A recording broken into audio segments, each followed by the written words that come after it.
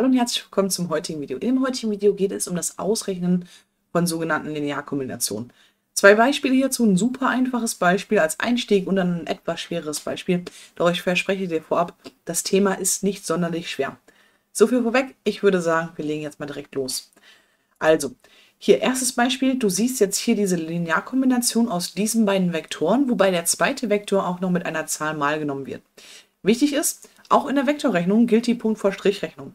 Das wiederum bedeutet, wir müssen uns als erstes hier um diesen hinteren Teil kümmern, also um zweimal dieser Vektor. Und jetzt kann man sich natürlich die Frage stellen, okay, wie berechne ich denn oder wie rechne ich es denn aus, wenn ein Vektor mit einer Zahl mal genommen wird? Den ersten übernehme ich einfach, weil Punkt vor Strichrechnung, genau so. Und du multiplizierst einen Vektor mit einer Zahl koordinatenweise. Das heißt, im Endeffekt nimmst du die erste Koordinate mal 2, die zweite Koordinate mal 2 und die dritte Koordinate mal 2. Dazwischen bleibt das Rechenzeichen stehen. Ja, 2 mal 0 ist immer noch 0. 2 mal 3 ist 6 und 2 mal 4 ist 8. Damit ist der erste Schritt abgearbeitet und wir kommen zum zweiten Schritt. Jetzt können wir diese beiden Vektoren plus rechnen.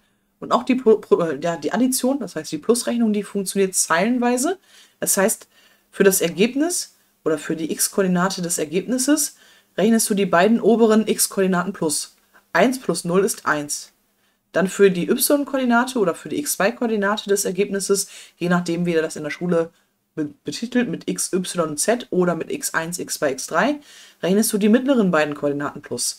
2 plus 6 ist 8 und dann dementsprechend genauso die unteren beiden, minus 1 plus 8 ist 7. Damit ist auch schon das erste Beispiel abgearbeitet und wir kommen zum zweiten Beispiel.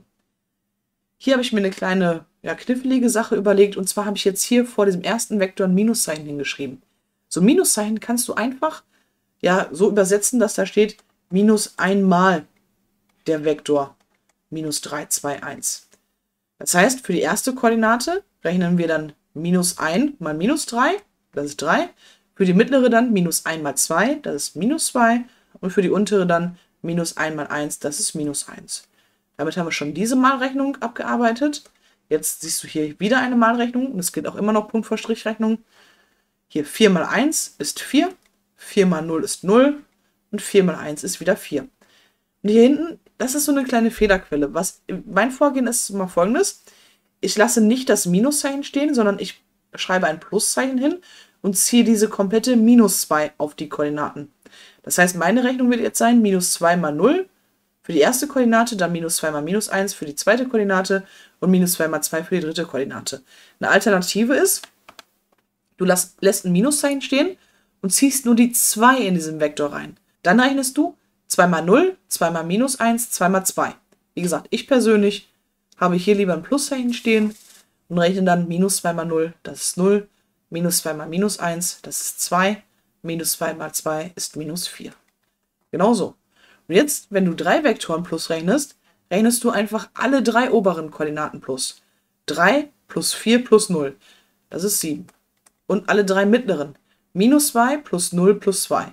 Minus 2 plus 0 ist immer noch minus 2. Minus 2 plus 2 ist 0. Und jetzt die unteren drei. Minus 1 plus 4 ist 3. 3 minus 4 ist minus 1. Und das ist dann auch schon das Ergebnis. So berechnet man im Allgemeinen Linearkombinationen von verschiedenen Vektoren. Denk also an Punkt vor Strichrechnung. Ein Minuszeichen kannst du jederzeit in den Vektor reinziehen, indem du all seine Vorzeichen umdrehst.